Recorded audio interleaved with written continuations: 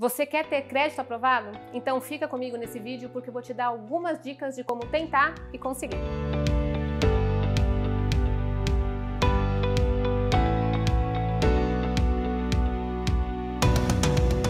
Mas antes eu vou pedir para você se inscrever no nosso canal e ativar o sininho para receber as notificações dos vídeos que chegam por aqui. Ah, e se você gostar do nosso vídeo, deixa o seu like porque ele é muito importante para a gente. E dá para compartilhar com os amigos também. Quando a gente fala em crédito, a gente está considerando a possibilidade de cartão de crédito, empréstimo e financiamento. E às vezes você pensa, para conseguir um cartão de crédito é mais fácil, mas não é bem assim. Cartão de crédito, assim como financiamento e empréstimo, funcionam como uma, uma, forma de empréstimo, ou seja, a instituição ou o banco vão ter que prestar atenção em você para ver se você vai dar o calote neles ou não. É como se você pedisse dinheiro emprestado para alguém mas que você não tem tanta certeza se vai receber o dinheiro de volta. É mais ou menos assim. E como o banco ou a instituição não te conhece, vai fazer algumas análises para saber se vale a pena liberar ou não crédito. Essa é a chamada análise de crédito. E ela é formada por uma análise documental e uma análise com dados sobre o seu comportamento como consumidor e como pagador no mercado. A análise documental vai avaliar se os documentos enviados são realmente da pessoa que está solicitando o crédito. E ela é muito importante, porque você deve estar com os documentos atualizados para evitar divergência de dados. Fica aí a primeira dica. Manter os documentos atualizados em ordem é fundamental. Veja se seu CPF está ativo na Receita Federal e caso você tenha sofrido alteração no nome porque casou, se divorciou, sempre deixe atualizado. Outro ponto importante é a atualização do seu endereço e telefone. Sabia que se eles não tiverem ok, ou seja, se você mudou de endereço ou de telefone e não estiver constando nas empresas e bancos, pode dar divergência de dados e a sua análise pode ficar comprometida? E aí, se você tem tudo isso em ordem, agora a gente vai passar para análise de crédito. Recordando, as duas primeiras dicas são manter os dados cadastrais atualizados junto às empresas e os seus documentos em ordem. A análise de crédito é formada por várias etapas e uma delas é o score de crédito, que vai ser analisado pelas instituições e bancos. Você sabia que tem muita gente que tem o nome limpo, tem o score considerado alto e mesmo assim não consegue crédito? Bom, para aumentar a sua chance de aprovação, eu vou passar para as dicas que eu prometi para você no começo do vídeo.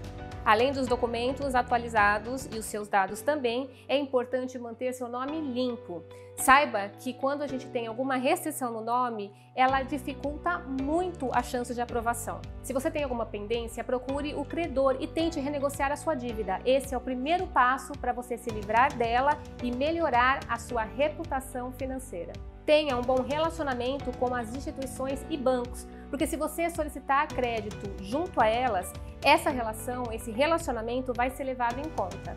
Tenha um CPF ativo e faça movimentação de crédito. O que significa isso? Tenha contas registradas no seu CPF e faça o pagamento delas em dia. Isso vai contar pontos para você. Conheça a sua pontuação de score. Você pode fazer isso gratuitamente de forma bem rápida no site da Foregon. É só acessar www.foregon.com. Conhecendo o seu score, você acaba entendendo quais são as suas chances de aprovação para determinados produtos e tem conhecimento para negociar melhor as taxas de juros que podem ser cobradas para você num empréstimo ou financiamento, por exemplo. Outra dica é escolher o produto ideal para o seu perfil. Como eu falei, conhecendo o seu score e entendendo sobre o produto, você vai saber se ele é adequado para o seu perfil e isso faz com que as suas chances aumentem. Sabe por quê? Conhecer o que o banco ou financeira exige para você ter o produto solicitado é fundamental, assim como os benefícios e as condições que ele te oferece. Agora, se você fez tudo isso e mesmo assim não consegue aprovação, saiba que existe a política interna de cada banco e instituição. Sobre ela, nós não temos acesso e nem conhecimento. Mas essas são dicas para aumentar as suas condições. Não são garantidas, mas ajudam. Uma outra dica importante é, se você não conseguiu, mesmo seguindo as dicas, abra uma conta. Ela pode te ajudar a desenvolver um bom relacionamento com o banco e em seguida ele vai liberar crédito para você. Mas não esqueça de movimentar a conta. É claro que eu tenho uma dica bônus para você. Para quem está negativado e deseja negociar as suas dívidas, saiba que após o pagamento da primeira parcela, e se tudo correr normalmente, ou a quitação da dívida, em até cinco dias seu nome tem que sair dos órgãos de proteção ao crédito. Outro ponto importante: evite fazer várias solicitações de crédito num curto período de tempo. Isso pode pegar mal para você junto aos bancos e instituições. Eles podem entender que você está muito desesperado e que está tirando para todos os lados. Aí, além das suas chances diminuírem, a sua pontuação de score também vai sofrer uma queda. E aí, gostou do vídeo? Se você gostou, deixa o seu like e continue com a gente descomplicando os bancos.